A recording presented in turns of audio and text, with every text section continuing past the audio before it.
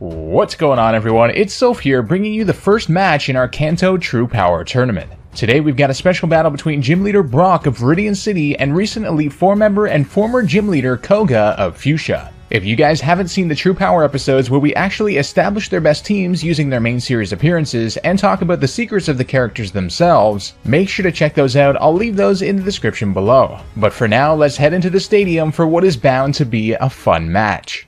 Alright, here we are with the preparations being made for the battle, and here on the team preview screen, we've got two really solid looking teams. In terms of types, honestly, it's hard to say who's got the upper hand, but Rock does resist poison, so that is a factor to consider. Koga's gonna have to look out for that Steelix, I would say, while Brock is definitely gonna have to look out for that Tentacruel. But without any further ado, ladies and gentlemen, we are ready, so let's get into the battle. And here we go, Elite Four Koga versus Gym Leader Brock. Honestly, this match could go either way, but we're about to find out what's going to happen. Koga, starting off with the Tentacruel, which is arguably the biggest threat for Brock's team, and Brock going out with the Steelix first. An interesting choice, however, that Tentacruel is going to serve a big, big problem for Brock. What is he going to do here? He's going to send out the Omastar, a good switch in. We're going to see what the Tentacruel is going to do. It's going to go for Toxic Spikes. Setting up right away on the field. Hazards are on the field. What is Brock going to do to respond to this? I have no idea. Tentacruel is outspeeding, coming in with the Acid Spray, which is not going to do that much damage, but it is going to lower Omastar's special defense, however, which is perhaps part of Koga's strategy here. Omastar going with the Earth Power. That is going to be super effective on the Tentacruel, although it doesn't do too much, especially after that Black Sludge recovery the Tentacruel is going to get probably a 3-hit KO or so. So this is looking a little scary for the Omastar, and the Tentacruel is going in with the Scald, and gets the burn. Burn coming in on the Omastar, not going to be too much of a problem offensively, however defensively racking up that damage every turn. Here comes another Earth Power. Tentacruel staying alive, staying alive there, coming in with the Black Sludge recovery while Omastar gets hurt by that burn. This is a very interesting predicament we've got here, and Tentacruel outspeeding again, coming in with the Scald, taking out the Omastar, the first KO of the match. So that Tentacruel is actually, you know what? Brock got some damage on it. I think that's the most he could have hoped for here. But what is he going to do to finish that thing off? He sends out the Aerodactyl, arguably his fastest, his speediest threat that he's got on his team. Should be able to handle that Tentacruel pretty well, I would say, depending on what move he uses. But Koga coming in with the switch to Weezing, which is going to be a very, actually, another threat for Brock's team. Brock has a very, very physically offensive team. However, that Weezing is quite physically defensive, I would say.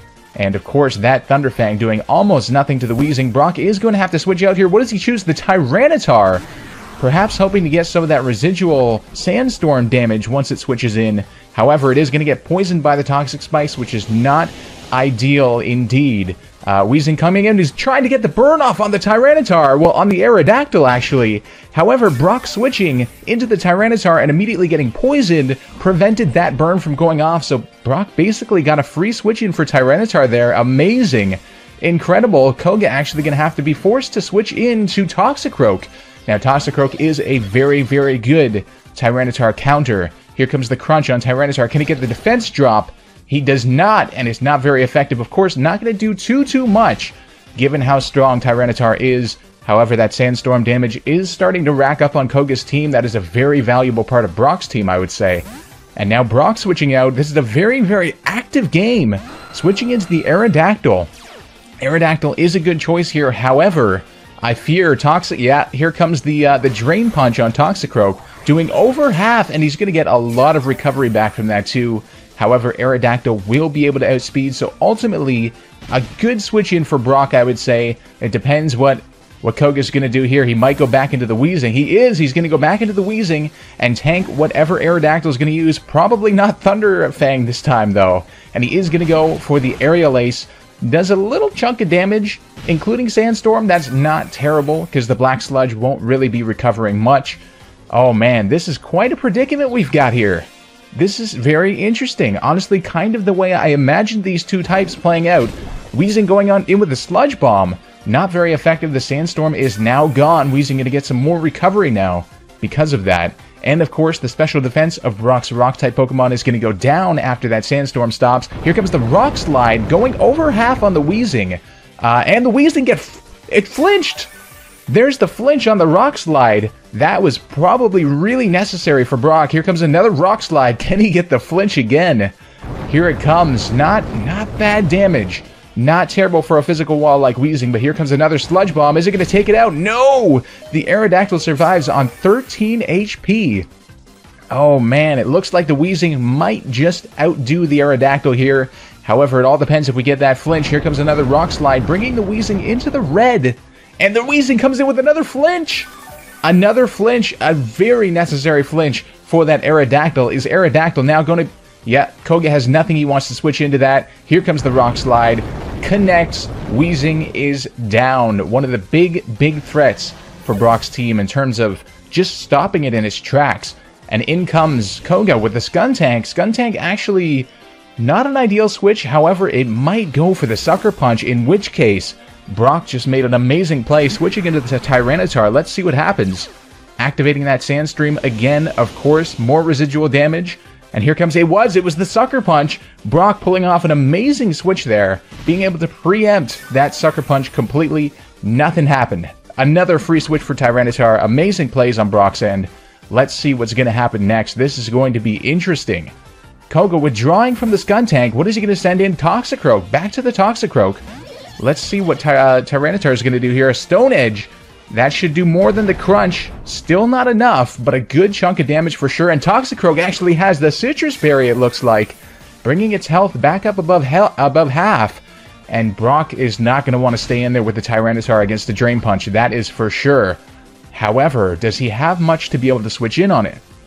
Let's see. No, he does. It looks like he doesn't, but Tyranitar has the Chople Berry, it looks like.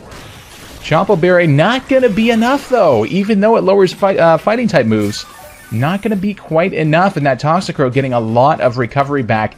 Down goes the Tyranitar, a vital part of Brock's team, but I guess he doesn't want to take that Drain Punch on anything.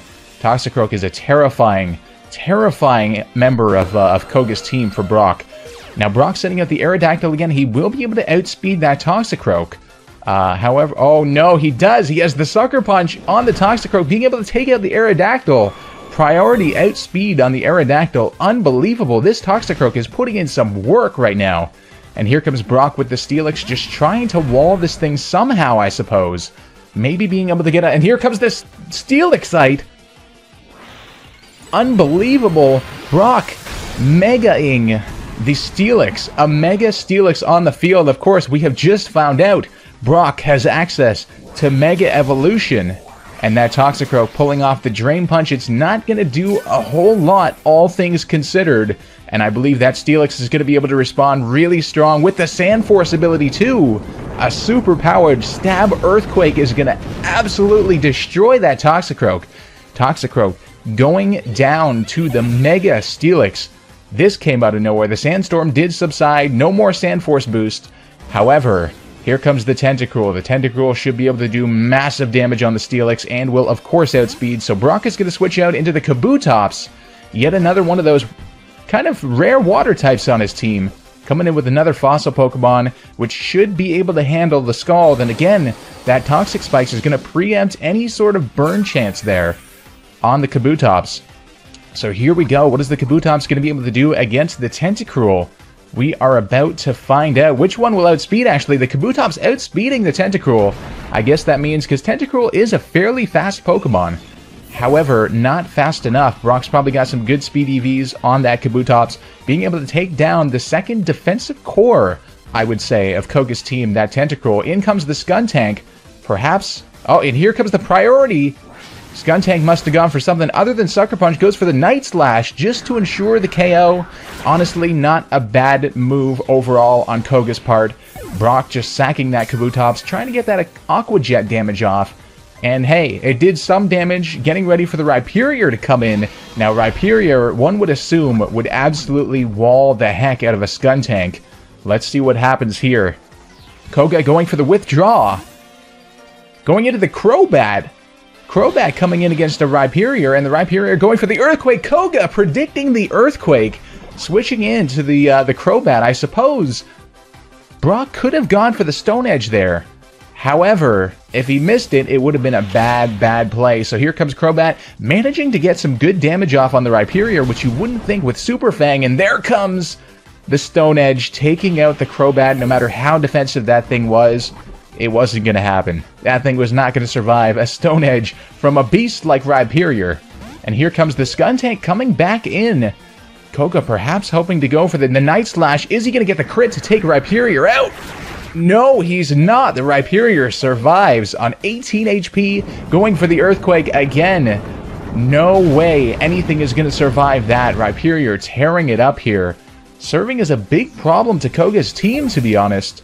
What is he going to do to be able to take this thing out? Oh, the Rhyperior actually goes down to the poison.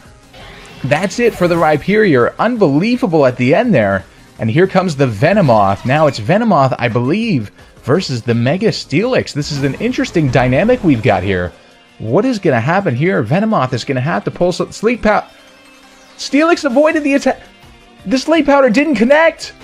Steelix being able to go in with a Heavy Slam, and that's going to take it out. Venomoth is down. Brock has won the battle due to a missed sleep powder, but honestly, from what we know of Brock, he does have a specially defensive Steelix, even though Steelix's special defense is not that great. Of course, wow, I don't think the Venomoth would have been able to do much unless the Steelix stayed asleep for many, many turns. Perhaps it could have powered up with Quiver Dance or something, but an unbelievable battle there. Honestly, it kind of played out the way I was thinking, where it would be a close battle, lots of switching, lots of predictions made, but Brock coming out against Koga with the win. An unbelievable battle there. That was quite the way to start off the tournament. Brock will be advancing to the second round.